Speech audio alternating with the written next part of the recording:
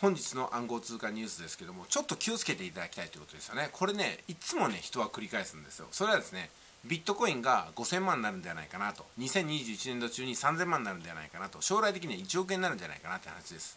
これはあり得る話ですけども誰かが言ったからってことを根拠にするのはむちゃくちゃ危険なんですよ。危険というよりも自分は何も分かってないってことですよね。情報を追いかけるようになったらもうおしまいなんですよ。違うんですよ。自分の内側の声をちゃんと耳を澄ましていかないといけないんですよね。自分はどういう意図でビットコインに投資したのか。限界値はいくらなのか。そしていくらの負けだったら退場するのか。いくらの利益が欲しいのか。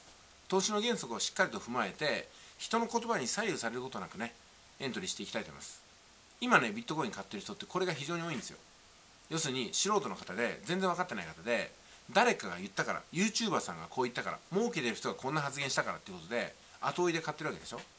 これはね負ける可能性が非常に高いのと損する可能性が非常に高いのと勝ったところで再現性がないんですよ。常に誰かが言ったことを当てにしちゃうからなんですよね。違うんですよ。自分の考えとテクニカルをもとに導き出した結論っていうのは最初はうまくいかなくてもどんどん精度を高めていくんですよ。ですんでね今日11月19日のビットコインの価格が185万8000ですけどもどうですか？私が半年前に95万前後の時に買いましょうと言って私自身がその時ね今までと思ってるビットコインで他に5ビット買ってるわけですよ。5ビットね。それが今倍になってます。ちょうど倍です。ということは私は5ビット分が10ビットになってるわけですから儲かったと言えるんですよ。半年でね。当時5ビットが100万円だとしましょう。半年間で500万の利益を私は稼いでいるってことなんですよね。持ってるだけですよ。持ってるだけ。ね。これが本当の投資ですよ。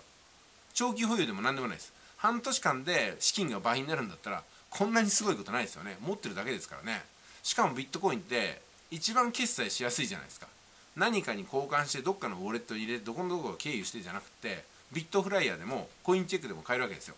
将来的には A だがこうなればいいなと思うんですけどもなってないんで今のところ私はね流動性の最も高い信頼性の最も高い汎用性の最も高いビットコインに今年エントリーしたということでございます。しかも今まで持ってる68万円のビットコインはそれはそのまま保有ですからね。ってことはこっちはこっちでまた増えてるわけですよ。こっちの方は3倍ぐらいになってますからね。ということなんでやっぱりね自分のテクニカル理論に従って購入すれば誰の情報も必要ないんですよ。むしろね後からあそういう情報あったの？みたいな感じでね自分の読みはまあまあ悪くはなかったかなと思う話ですね。誰かが言ったからどっかの金融アナリストが言ったからどっかの大手会社が参入したからっていうので入る時はもう遅いんですよ。だって大手が参入した後ですよ。その大手が参入する前大きな資金が入る前にエントリーしてるから利益がドンと出るわけじゃないですか。うんねペイパルが参加した後にあなたが参加してもペイパルの購入分の利ザヤっていうのは取れないじゃないですかどう考えても。むしろペイパルの方が決済しますよこれから。値上がったんで。利益確定しちゃいますよ。ということなんでね資金の少ない人は誰かが大口が買ったからという後で入ってもダメなんだということをね今回の動画で申し上げておきました。では本日は以上です。